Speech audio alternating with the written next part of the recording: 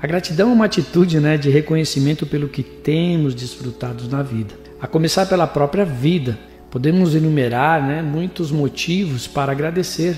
Nossa salvação, nossa família, nossa saúde, dos nossos queridos familiares, amigos, nossa casa, nossa célula, nossa igreja, enfim, nosso trabalho e os extras, né, que vão além das nossas necessidades supridas. Como assim, Marcelo? Ué, tudo que tem ao nosso redor, nós desfrutamos o ar que respiramos, principalmente, todas as manhãs que acordamos e vemos a natureza, a natureza exuberante que Deus fez para nós, o sol, a lua, as pessoas ao nosso redor, e vejo a chance de cada dia que amanhece, né? Que a cada dia que nós abrimos os nossos olhos e vamos ao nosso trabalho ou fazer as coisas que temos que fazer na nossa agenda do dia, nós devemos ser gratos por tudo. É possível viver sempre grato a Deus? Claro que sim. Destacando que viver constantemente num estado de gratidão certamente é uma dádiva do Espírito Santo. Só é possível na vida de quem vive nele, pois o mundo nos ensina a viver na busca desenfreada por mais, gerando descontentamento por metas não alcançadas e poucas ou nenhuma gratidão pelas bênçãos recebidas de Deus. Ou seja, a preocupação do ser humano, da maioria das pessoas, é obter o seu sucesso, o seu dinheiro. Claro que isso não é errado, desde que seja de uma forma correta, de uma forma calma, de uma forma de não pisar nos outros para chegar ao seu objetivo. O padrão que deve ser seguido ou buscado né, por todos os discípulos de Jesus, que somos nós, que amamos Jesus, observamos os seus ensinamentos, é o padrão ensinado pelo próprio Jesus. O mestre, né, que não tinha onde reclinar a sua cabeça, mas mesmo assim deu graça no momento mais delicado da sua vida, a crucificação. Vou usar isso como exemplo. Isso é ser grato em qualquer situação por entender que está vivendo os propósitos de Deus. Ou seja, Jesus era grato em todas as coisas. Nos deixou esse exemplo de gratidão, porque pela própria palavra nós vemos que ele veio para fazer a vontade do Pai, não a vontade dele. Então, fazendo isso, obedecendo às ordens do seu Pai, o Deus Todo-Poderoso, ele era grato pelo privilégio de fazer parte desse sonho de Deus, do projeto de Deus para com a humanidade perdida e foi salvo por ele. Você se lembra de uma situação difícil em sua vida que você deu graças a Deus e Deus agiu sem demora? O Senhor não ignora nossas dificuldades, mas ordena que oremos e lancemos sobre ele a nossa ansiedade, conforme está escrito em 1 Pedro capítulo 5, versículo 7, lançando sobre ele toda a nossa ansiedade, porque ele tem cuidado de nós.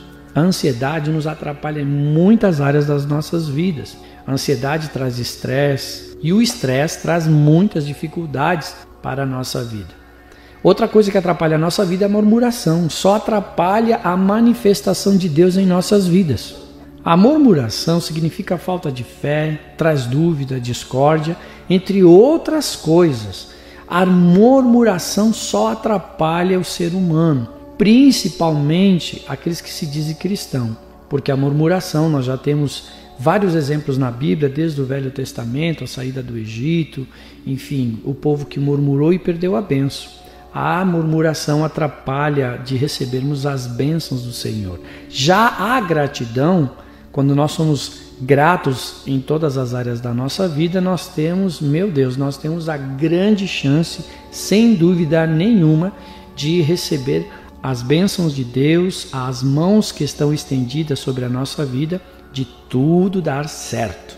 Enquanto pensamos naquilo que nos falta, deixamos de perceber o que Deus já nos abençoou. Tem pessoas que pensam naquilo que falta para elas, né? O desejo do coração delas se cumpra o mais rápido possível.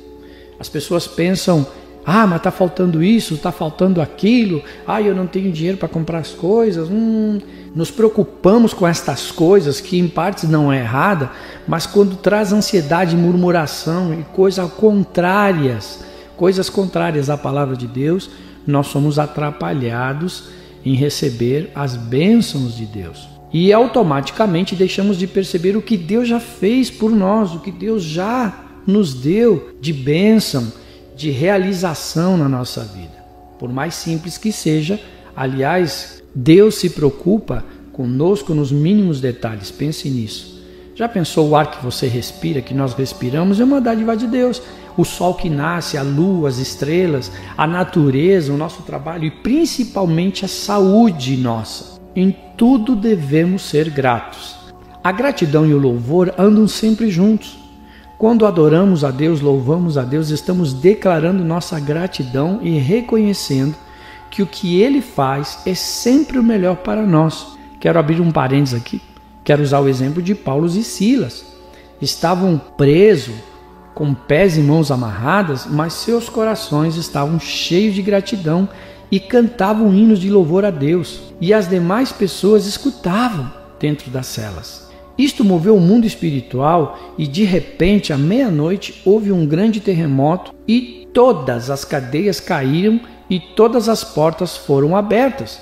Isso está registrado em Atos capítulo 16, do versículo 22 ao 26. Aqui nós vemos Paulo e Silas, homens de Deus, estavam dando graças presos com os pés e as mãos amarrados. Conclusão: se você é grato a Deus, agradeça, louve-o. Declare sua gratidão orando, cantando, vivendo de maneira agradável a Ele. A gratidão é uma arma poderosa, presta atenção, para as nossas futuras conquistas. Quando somos gratos, nós declaramos a palavra de Deus e através da nossa boca se cumpre o que está escrito, que nós temos o poder de abençoar e amaldiçoar. Quando murmuramos, nós estamos declarando palavras que não são bíblicas e sim coisas contrárias à Bíblia. Então, nesta manhã, eu te convido que você venha declarar só palavras boas, palavras de gratidão. Obrigado, Jesus. Obrigado porque o Senhor vai abrir a porta do emprego. Obrigado porque o Senhor vai me curar. O Senhor vai abrir a porta da, da salvação, da cura da minha família, das conquistas de projetos. Sempre fale palavras de gratidão e declare a palavra de Deus, profetize na tua vida aquilo que você deseja quando nós entregamos tudo nas mãos do Senhor, quando nós oramos, somos gratos ao Senhor, Deus se move ao nosso favor. Encerro dizendo o que está escrito no Salmo 37 e verso 4: Deleita-te também no Senhor, e Ele concederá os desejos do teu coração. Vamos orar? Senhor Jesus, nós queremos te agradecer por esta manhã, por esta reflexão, de vivermos uma vida de gratidão. Obrigado pela paciência que o Senhor tem conosco. Obrigado pelas tuas mãos estendidas, obrigado pela tua palavra, Senhor. Obrigado pelas tuas bênçãos que o Senhor já derramou sobre nós até hoje e pelas bênçãos que virão no futuro sobre a nossa vida, sobre a nossa casa, sobre a nossa família, sobre os nossos projetos. Te agradecemos e declaramos a tua palavra, Senhor, que é vida abundante, é a verdade que liberta. Senhor, muito obrigado por tudo que o Senhor nos deu. Nós colocamos a nossa vida nas tuas mãos, a nossa família, este dia.